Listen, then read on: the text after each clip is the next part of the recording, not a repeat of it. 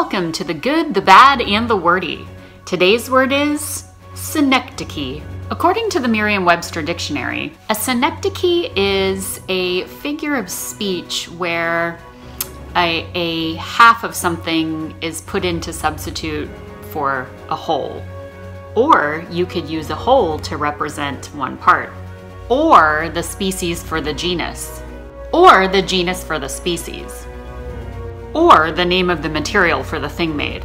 Let me just give you some examples, okay? If you feel like you're being mistreated by the world, it's not accurate, you know, you may feel like you're being mistreated by the part of the world that you encounter, not the entire planet.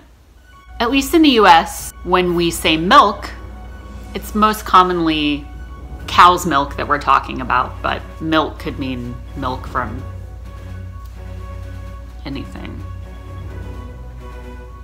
If you enjoyed your experience at a restaurant, you could say the restaurant was lovely. Well, there's so many different parts to the restaurant. You probably meant the service was great, or the food was great, or the ambiance was great.